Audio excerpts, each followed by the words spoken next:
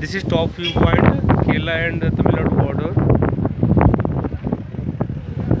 All of you friends see this view.